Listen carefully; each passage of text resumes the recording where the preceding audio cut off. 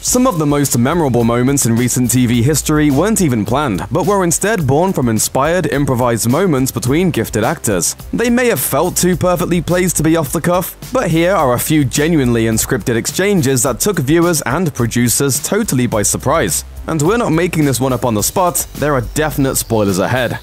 Stormborn Smooch Game of Thrones is a very expensive, obsessively examined show, so it makes sense to assume every moment must be scripted to the letter. However, as it turns out, there's some room for flexibility on the series. In the season 7 episode Stormborn, Yara Greyjoy and Ellaria Sand get to know each other a little better, before being interrupted by an attack.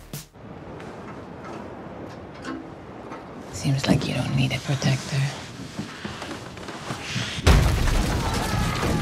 Actress Gemma Whelan, who plays Yara, revealed after the episode aired that the kiss wasn't scripted, saying that it, quote, just seemed like something we should do.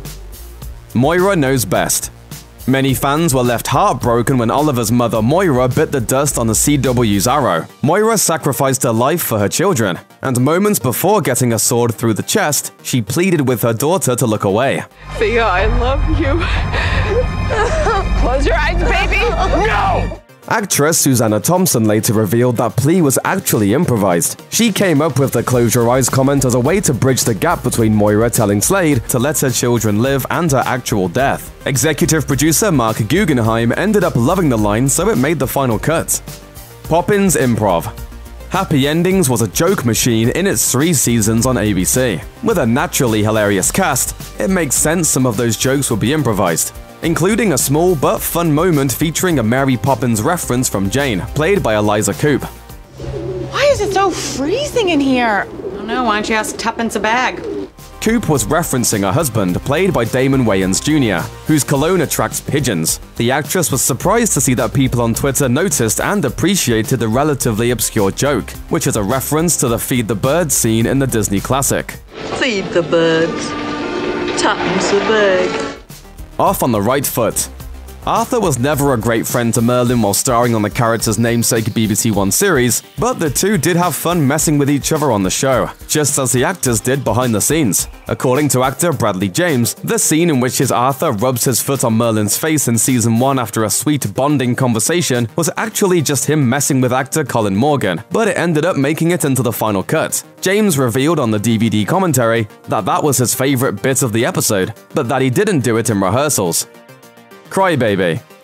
There were a lot of heartbreaking moments in Breaking Bad over the years, but one of the biggest tearjerkers came when Walt's baby daughter Holly started calling out for her mother after her father abducted her. Wouldn't that be nice, Holly? No, Mama. Mama. Mama. But that's not how the scene was planned. During the bathroom scene, the little actress saw her real mother just a few feet away and ended up calling out to her. Credit goes to actor Bryan Cranston for rolling with it, because the moment ended up being an instant classic. Fruit of his labor. Even if you only watch Psych intermittently, you know how important pineapples were to the show. As it turns out, the whole thing started thanks to an improvisation from Psych star James Roday. Ooh! Should I slice this up for the road? Roday was so enthusiastic about the joke that the producers felt like he just had to keep it in, and it spiraled out from there. One of the tropical fruits appeared in almost every episode of the series, in addition to featuring prominently in its marketing over the years. Thanks for watching. Click the looper icon to subscribe to our YouTube channel. Plus, check out all this cool stuff we know you'll love too.